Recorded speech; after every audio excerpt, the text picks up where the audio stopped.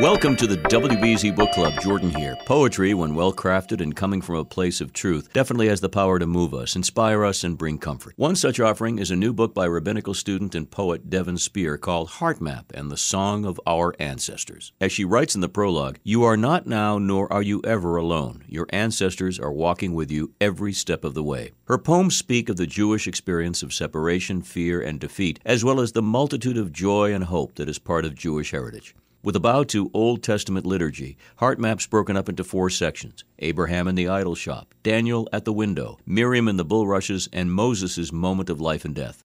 The book at times is a steady stream of consciousness flow, but the impressive use of phrasing and word choice makes it welcome reading for anyone who appreciates well crafted poetry. Even though it's based on Jewish continuity through the ages, Devon Spier's poems would appeal to any audience, much like another of my favorite books, Bless the Space Between Us by the late Father John O'Donohue. The Book Club, WBZ News Radio 1030.